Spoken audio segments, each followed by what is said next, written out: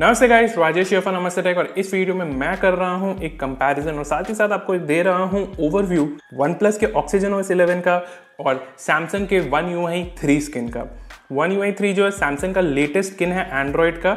ये आपका बेस्ड है एंड्रॉयड 11 पे और ये अभी तो गैलेक्सी S20 और गैलेक्सी नोट 20 अल्ट्रा में अवेलेबल है एज अ बीटा लेकिन पब्लिक अपडेट जो है, वो भी जल्दी आ जाएगा। मुझे तो लगता है कि दिवाली तक आ जाएगा इंडिया में। और, यहीं पे जो ऑक्सीजन ओएस 11 है, ये आपको वन प्लस एट्टी में प्री इंस्टॉल्ड मिलता है, लेकिन इसे छोड़ के भी प्लस ने ऑलरेडी प्लस एट और वन प्लस एट प्रो के लिए भी इस अपडेट को रोल आउट कर दिया है। दोनों ही स्किन्स एंड्रॉइड 11 पे बेस्ड है और जब प्लस ने ऑक्सीजन ओएस 11 को अनवेल किया था तो बहुत लोगों ने कहा था कि अरे ये तो वन यू का कॉपी है। वहीं पे सैमसंग की जो वन यूआई स्किन है, ये कंपनी के टच विद स्किन से काफ़ी ज़्यादा अच्छी है। मुझे तो पर्सनली वन यूआई बहुत पसंद है, इसकी यू आई बहुत ज़्यादा अच्छी है, इसमें बहुत सारे अच्छे फीचर्स हैं। ऑक्सीजन ओएस तो भाई काफ़ी पॉपुलर है, बहुत लोग इसके बहुत बड़े फ़ैन हैं, इसमें तो कोई डाउट ही नहीं है। और मेरे हिसाब से तो ऑक्सीजन ओएस 11 के साथ एक राइट अमाउंट ऑफ़ पॉलिश और U I improvements OnePlus ने इंट्रोड्यूस किए हैं। तो कौन सा स्किन ज़्यादा बेटर है, कौन सा स्किन में क्या फीचर्स आपको मिलते हैं, किसमें क्या मिसिंग है, वो सब मैं आपको इस वीडियो में आगे बताता हूँ। सबसे पहले आप अगर होम स्क्रीन देखोगे तो वन यू लॉन्चर जो है, ये उतना फीचर रिच नहीं है जितना आपका ऑक्सीजन ओएस लॉन्चर है। ऑक्सीजन ओएस लॉन्चर में आपको एक हिडन स्पेस भी मिल रहा है, जो काफ़ी इजीली एक्सेसिबल है फ्रेंकली और यहाँ पे सर्च फंक्शनैलिटी भी है. वहीं पे वन यू का जो लॉन्चर है, ये थोड़ा बहुत कस्टमाइजेशन ऑप्शंस ऑफ़र करता है. आपको यहाँ पे सेटिंग्स में अगर आप जाके देखोगे तो आप होम स्क्रीन की ग्रिड साइज़ को कस्टमाइज कर सकते हो ऐप स्क्रीन की ग्रिड साइज़ को कस्टमाइज कर सकते हो.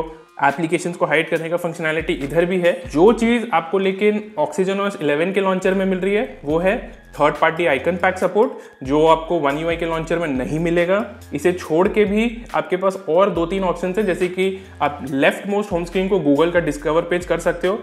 यहाँ पे आपको ऐसा कोई ऑप्शन नहीं मिल रहा है। यहाँ पे लेफ़्ट मोस्ट होम स्क्रीन जो है, वो सैमसंग का ही एक डेली पेज है। आप इसे ऑफ़ कर सकते हो, लेकिन इसे आप गूगल डिस्कवर पेज से चेंज नहीं कर सकते हो। नोटिफिकेशन शेड आप देखोगे तो अगेन दोनों फोन्स काफ़ी सिमिलर हैं। दोनों में ही आपको एक थोड़ा सा ट्रांसपेरेंट बैकग्राउंड मिल रहा है, जो एक्चुअली आपका वन यू में थोड़ा ज़्यादा विजिबल है compare to Oxygen OS 11 one U में आप देख सकते हो कि क्लॉक जो है उसे बहुत प्रोमिनेंटली दिखाया जाता है ऊपर क्विक सेटिंग्स पैनल में, और इसके जो क्विक सेटिंग्स के बटन है, वो पूरा स्क्रीन के नीचे तक आता है। तो आप आराम से वन हैंडेड एक्सेस कर सकते हो। लेकिन ऑक्सीजन ओएस 11 में, ऐसा नहीं आप देख रहे हो, यहाँ पे मैंने पूरा क्विक सेटिंग्स पैनल को एक्सपैंड कर दिया, लेकिन तो भी सारे बटन ऊपर ही है। तो यहाँ पे वन हैंडेड यूज़ का कोई बेनिफिट नहीं हो रहा, क्योंकि तो भी आपको अपने ग्रिप को शायद एडजस्ट करना पड़े, ये सारे बटन को प्रेस करने के लिए। सेटिंग्स ऐप में जो सबसे पहली चीज़ आप नोटिस करोगे, वो ये है कि वन यूआई की जो आइकन्स है सारे, वो सारे कलरफुल्स है। तो इसके कारण इसकी सेटिंग्स मेनू देखने में ज़्यादा अच्छी लगती है। कंपेयर टू ऑक्सीजन ओएस 11 यहाँ पे क्या है कि कलर्स का इस्तेमाल नहीं किया गया लिमिटेड आइकन की जो ग्लाइफ है बेसिकली उसे कलर्स दे दिया गया दैट्स इट एक आउटर स्केच की तरह ज़्यादा कुछ नहीं है यहाँ पे। तो इस वजह से वन यू की जो सेटिंग्स मेन्यू है, वो ज़्यादा वाइब्रेंट लगती है, ज़्यादा बेटर लगती है। मुझे इसके फॉन्ट भी ज़्यादा पसंद आई, ज़्यादा बोल्ड वे में ज़्यादा अच्छे से दिखाया गया है। Compare to Oxygen OS eleven जो थोड़ा सा डल लगता है। इसके बाद सपोज़ अगर हम साउंड एंड वाइब्रेशन में जाके देखें तो अगेन सिमिलर चीज़ है। वन यूआई में क्या है कि जो फॉन्ट है, उसे अच्छे से यूज़ किया गया बोल्ड को थोड़ा सा बड़ा करके दिखाया गया है। तो रीडेबिलिटी मुझे इसकी ज़्यादा बेटर लगी कंपेयर टू ऑक्सीजन ओएस 11 यहाँ पे क्या है कंटेंट तो सेम ही दिखाया जा रहा है दोनों जगह, लेकिन वन यूआई में रीडेबिलिटी थोड़ा उतना बेहतर नहीं है जितना आपको वन यूआई में मिल रहा है। वन यूआई में क्या है कि यहाँ पे कहीं कहीं पे सिस्टम यूआई में कलर यूज़ किया गया है, लेकिन बेसिकली अदरवाइज़ ब्लैक और वाइट ही है। जो रीडेबिलिटी को थोड़ा सा मुझे लगता है कि हैम्पर करता है। यहाँ पे कुछ और किया जा सकता था। वन प्लस को यहाँ पे डेफिनेटली थोड़ा और काम करना चाहिए। नेविगेशन जेस्टर्स की बात करें तो आपको दोनों फ़ोन में नेविगेशन जेस्टर्स मिल रहे हैं। यहाँ पे तो मैं वन प्लस एट टी में ऑलरेडी नेविगेशन जेस्टर्स यूज़ कर रहा हूँ। और यहाँ पे मैं चाहूँ तो वन यूआई में भी नेविगेशन जेस्टर्स को इनेबल कर सकता हूँ। इसमें ज़्यादा कुछ डिफरेंस है नहीं। दोनों फ़ोन में ही नेविगेशन जेस्टर्स अच्छे से काम करते हैं एंड थर्ड पार्टी लॉन्चर्स भी सपोर्ट करते हैं। एंड्रॉयड 10 में मैंने देखा था ऑक्सीजन ओएस 10 और वन यू आई टू में, दोनों में ही कि ये जो नेविगेशन जेस्टर्स है, ये उतना स्मूथली काम नहीं करते, लेकिन यहाँ पे ऐसा नहीं है, दोनों स्मूथली काम करते हैं। रिसेंट ऐप स्क्रीन भी आप देखोगे तो अगेन एक सिमिलर ट्रेंड ही आपको देखने मिलेगा कि वन यूआई में क्या है ना कि थोड़ा रीडेबिलिटी बेटर है कंपेयर टू ऑक्सीजन और इलेवन यहाँ क्या है ना कि सब थोड़े ज़्यादा आइटम्स छोटे हो गए हैं। और यहाँ पे वन यू में आप क्लियरली रिसेंट ऐप प्रीव्यू से भी देख सकते हो कि एक ऐप कार्ड प्रीव्यू में आपको क्या दिखाया जा रहा है। ऑक्सीजन और इलेवन में भी आप देख सकते हो, लेकिन रीडेबिलिटी उतनी अच्छी नहीं है जितना आपको वन यू में मिल रहा है। कस्टमाइजेशन में एक चीज़ है कि वन यू को एक मेजर एडवांटेज है। यहाँ पे आपको जितने कस्टमाइजेशन ऑप्शंस मिल रहे हैं वो आपको वन यू थ्री में नहीं मिलते हैं। ऐसा नहीं है कि वन यू थ्री में ऑप्शन नहीं है थीम्स का सपोर्ट तो यहाँ पे भी है, आजकल कॉमन ही है, लेकिन ऑक्सीजन ओएस इलेवन में आप एक्सेंट कलर को चेंज कर सकते हो, उसे छोड़ के फिर आप सिस्टम के आइकन्स की शेप और साइज़ को चेंज कर सकते हो। आपको round rectangle tier drop round जो पसंद आता है, आप उसे रख सकते हो। आइकन पैक चेंज कर सकते हो। फॉन्ट भी चेंज कर सकते हो, लेकिन दो ही है रोबोटो और OnePlus sense that's it और कुछ नहीं है। कैमरा एप्लीकेशन में मैं कहूँगा कि जो वन यूआई का कैमरा ऐप है, वो ज़्यादा बेटर है। इसमें आपको ज़्यादा फीचर्स भी मिल रहे हैं और ये थोड़ा ज़्यादा फास्ट भी लगता है। मुझे इसकी यूआई ज़्यादा पसंद आई। यहाँ पे एक दो ज़्यादा ऑप्शन भी हैं, जैसे सिंगल टेक एंड ऑल जो हो सकता है गिमिक ही लगे आपको, लेकिन तो भी मुझे तो ठीक ठाक लगता है। कभी कभी काम में ज़रूर आते हैं। उसके कंपैरिजन में ऑक्सीजन इलेवन का जो कैमरा ऐप है फास्ट है, उसमें कोई डाउट नहीं है। लेकिन यहाँ पे थोड़े और फीचर्स हो सकते थे। सबसे इंपॉर्टेंट तो जैसे कि आपको वन यू थ्री में प्रो मोड मिलता है, जो आप वीडियो के लिए भी यूज़ कर सकते हो। लेकिन जो ऑक्सीजन एफ़ इलेवन का कैमरा ऐप है, उसकी प्रो मोड सिर्फ़ और सिर्फ़ प्राइमरी कैमरा में फ़ोटोज़ के लिए यूज़ किया जा सकता है, और कुछ नहीं। एक चीज़ है पर कि ऑक्सीजन एफ़ इलेवन का जो कैमरा ऐप है, उससे आप किसी भी फ़ोटो को जल्दी से क्विक शेयर कर सकते हो थंबनेल प्रीव्यू को लॉन्ग प्रेस करके। यहाँ पे आपको ऐसा कोई भी फीचर नहीं मिल रहा है वन यूए में। आप फ़ोटो को ओपन कर सकते हो बट दैट्स अबाउट इट आप उस फ़ोटो को जल्दी से शेयर नहीं कर सकते हो। ये मुझे बहुत यूजफुल लगा, क्योंकि आजकल बहुत कॉमन है, लोग फ़ोटोज़ खींचते ही हैं शेयर करने के लिए। इसे छोड़ के देखोगे तो बहुत बाकी सारे एस्पेक्ट्स में दोनों स्किन्स काफ़ी सिमिलर है। परफॉर्मेंस को लेकर मैं कोई कंप्लेन नहीं करूँगा। वन यू थ्री में नए एनिमेशन भी हैं तो ये ज़्यादा स्मूथ भी अब फील करता है compare to one U two या फिर one U two point five और ऑक्सीजन ओएस इलेवन में तो आपको हमेशा से ही बहुत फास्ट सिस्टम एनिमेशन मिले हैं। तो यहाँ तो उस चीज़ को लेके कोई इशू ही नहीं है। आई नो बहुत लोगों को होगा कि ऑक्सीजन ओएस इलेवन जो है वो ज़्यादा फास्ट और स्मूथ है वन यूआई से, लेकिन वो डिफरेंसेस एक्चुअली बॉइल डाउन कर जाते हैं हार्डवेयर को लेके।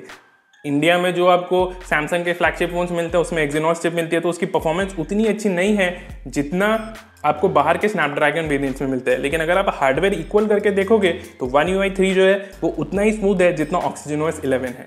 ऑलवेज ऑन डिस्प्ले सपोर्ट की बात करें तो यहाँ पे आपका ऑक्सीजन ओएस इलेवन में ज़्यादा बेटर आपको फीचर्स मिल रहे हैं। अगर आप देखोगे डिस्प्ले में तो आपको बहुत सारे कस्टमाइजेशन ऑप्शंस मिल रहे हैं ऑलवेज ऑन डिस्प्ले को लेके। इसके लिए पहले तो आपको ऑलवेज ऑन डिस्प्ले इनेबल करना होगा, फिर कस्टमाइजेशन में जाके आपको जो एम्बियंट डिस्प्ले है, उसके ऑप्शंस को चेंज करना होगा। यहाँ पे आप different type of theme select कर सकते हो ऑलवेज ऑन डिस्प्ले के लिए, जबकि ये ऑप्शंस आपको वन यू थ्री में भी मिलेंगे, लेकिन काफ़ी लिमिटेड हैं। और क्लियरली ऑक्सीजन ओएस इलेवन के जो ऑप्शन है क्लॉक्स को लेके ऑलवेज ऑन डिस्प्ले के लिए, वो मच बेटर है सैमसंग के ऑफरिंग से। कस्टमाइज दोनों कर सकते हो, लेकिन इट्स जस्ट दैट कि ऑक्सीजन ओएस इलेवन के कस्टमाइजेशन ऑप्शन ज़्यादा बेटर है। मल्टीटास्किंग फीचर्स तो वैसे दोनों फ़ोन के सिमिलर हैं, लेकिन वन यू को यहाँ पे एक एडवांटेज है। कॉमन फीचर्स दोनों फ़ोन में मिल रहे हैं। जैसे कि आप ऑक्सीजन ओएस 11 में भी एप्लीकेशन को स्प्लिट स्क्रीन मोड में चला सकते हो, दो एप्लीकेशन को एक साथ। कोई बड़ी बात नहीं है ये। यहाँ पे आप जैसे देख सकते हो। लेकिन वन यूआई में क्या है ना कि आप इसके साथ और बहुत कुछ कर सकते हो। आप एप्लीकेशन को विंडो और पॉपअप मोड में चला सकते हो। अब जैसे कि यहाँ पे जो सेटिंग्स ऐप है, इसे मैं चाहूँ तो पॉपअप व्यू में ओपन कर सकता हूँ। यहाँ पे आप देख सकते हो, अभी एक विंडोड फॉर्म में रन कर रहा है और इसे मैं ड्रैग ड्रॉप करके कहीं भी डिस्प्ले के कहीं भी साइड में लेके जा सकता हूँ मिनिमाइज कर सकता हूँ ऐसे एक फ्लोटिंग विंडो फॉर्मेट में। फिर अब मुझे सपोज़ करो कि इसे ट्रांसपेरेंट करना हो तो मैं ट्रांसपेरेंट भी और कर सकता हूँ ताकि मैं जो बैकग्राउंड का कंटेंट है, उसे देख सकूँ। ये एक ऐसा चीज़ है जो आपको ऑक्सीजन ओएस 11 में नहीं मिलेगा। और इससे मल्टीटास्किंग को लेके काफ़ी फ़र्क पड़ता है। लेकिन ये बहुत ही हार्डकोर पावर यूज़र्स के लिए ही काम में आएगा। रेगुलर यूज़र्स को उससे ज़्यादा फ़र्क नहीं पड़ेगा।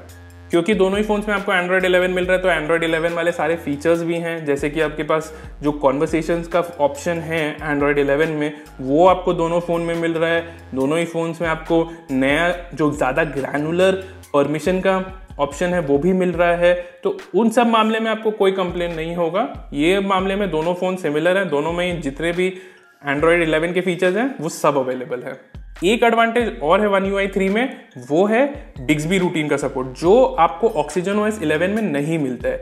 अब बिग्सबी रूटीन क्या है? वेल well, अगर आप एडवांस फीचर में जाके देखोगे तो बिग्सबी रूटीन से आप सेट कर सकते हो कि सपोज़ मेरा फ़ोन जो है वो गाड़ी के ब्लूटूथ से कनेक्ट हो तो ऑटोमेटिकली गाना बजने लगेगा। ये कोई पर्टिकुलर एप्लीकेशन जो है वो ओपन हो जाएगा या अगर मैं कोई ब्लूटूथ ईयरबड्स कनेक्ट करता हूँ तो ऑटोमेटिकली ये ऐप ओपन हो जाएगा। या फिर अगर सुबह का सात बजते हैं या कोई बटन मैं दबाता हूँ तो ऑटोमेटिकली जो भी मेरे होम ऑटोमेशन वाले डिवाइसेज हैं वो सब स्टार्ट हो जाएँगे ऑन ऑफ़ जो है, ये सब हो जाएगा। यहाँ पे बहुत सारे ऑप्शंस हैं। ये बेसिकली सीरी शॉर्टकट्स की तरह है। आपके पास यहाँ पे बहुत ऑप्शंस मिलेंगे। आप obviously third party application play store से डाउनलोड करके भी कर सकते हो, लेकिन डिक्सबी रूटून इसे काफ़ी सिंप्लीफाई कर देता है। जैसे कि ये देखो, एक स्ट्रीमिंग वीडियो का एक ऑप्शन है यहाँ पे। अब अगर मैं YouTube खोलता हूँ या यहाँ पे मैं प्राइम वीडियो नेटफ्लिक्स सेट कर देता हूँ तो ऑटोमेटिकली फ़ोन की वाईफाई ऑन हो जाएगी डॉल्बी ऑटमोस ऑन हो जाएगा डू नॉट डिस्टर्ब ऑन हो जाएगा। और जब मैं एप्लीकेशन को क्लोज करूँगा तो वाईफाई डॉल्बी एटमोस और डू नॉट डिस्टर्ब जो है, वो ऑफ़ हो जाएँगे। तो इस वीडियो के लिए बस इतना ही दोस्तों। आई थिंक इस वीडियो से आपको एक ओवरव्यू मिल गया होगा कि वन यू आई थ्री और ऑक्सीजन ओएस इलेवन में क्या क्या डिफरेंसेज हैं।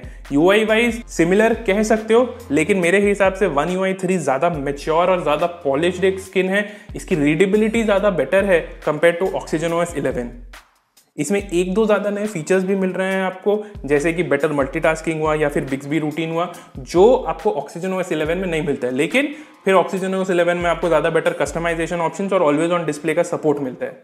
अब कौन सा स्किन आपको ज़्यादा पसंद है, वो आप मुझे कमेंट करके नीचे ज़रूर बताइएगा। और अगर ये वीडियो आपको पसंद आया दोस्तों तो हमारे चैनल पर ज़रूर सब्सक्राइब करिएगा और इस वीडियो को लाइक और शेयर करना मत भूलिएगा। धन्यवाद।